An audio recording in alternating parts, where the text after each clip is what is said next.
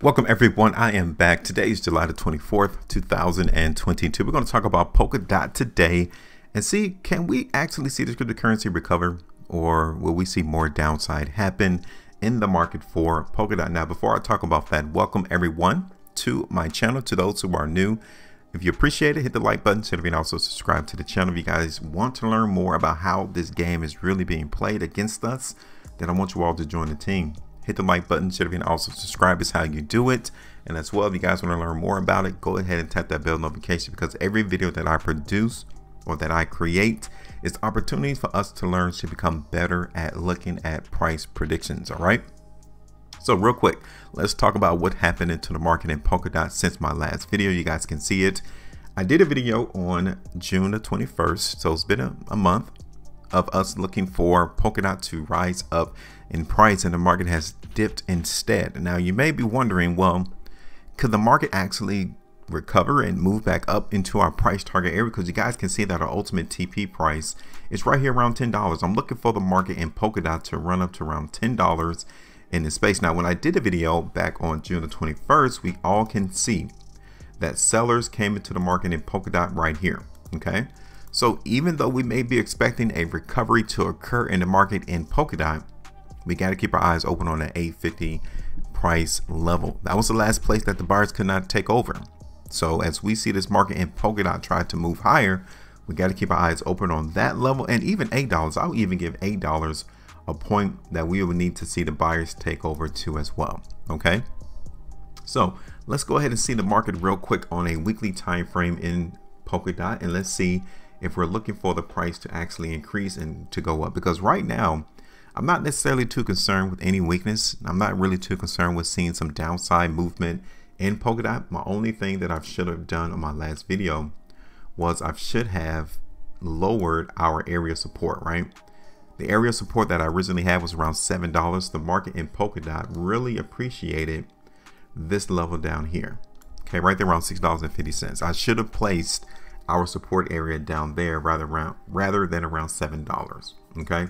Now, generally, the market in Polkadot is not doing too much. I'm not really seeing anything drastic in terms of us seeing the price in Polkadot collapse or plummet or anything like that. The market buyers are definitely here in place still. They're still hovering. They're still able to successfully keep price up. That's the thing we want to know. That's the thing that we want to see is if the buyers are still in this place. If they're still at these prices, because if they are, it's just going to take us longer for us to see the market run into our price target area. That's all. That's it. So looking at the chart currently, I've already identified areas that we need to keep our eyes open for. $8 and $8.50. Okay, let's see the chart real quick on a three-day time frame because you all can see right here on this last completed three-day price bar, which is right here. This is just a continuation of what happened on the previous three-day price bar. That's it. This three-day price bar, which started on July 18, 2022, was the start of us seeing the weakness. It's the start of us seeing the selling. And then on this one, the follow on three day price bar, it's just a continuation. That's all. So on this current three day price bar that is forming, if we see price in Polkadot continue to close higher than the previous two three day price bars, I'm still looking for the market to go up. Just that simple. Okay.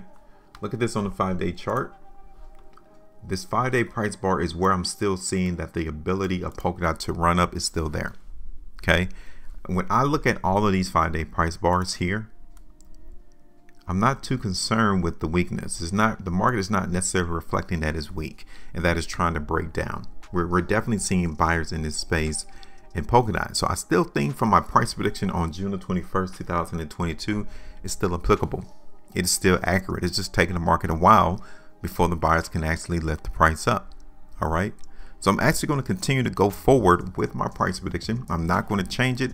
I'm still going to look forward to the price in Polkadot to move higher. Just literally, I'm just showing you that the market sellers are still mixed in and that the buyers are not that bullish to really move the market into our price target area. That's it. Nothing more, nothing less. All right. So what I'm going to do uh, on this particular video is I'm going to go ahead and just extend my prediction. Okay. Let's take it to September. And we're just going to let the market continue to work.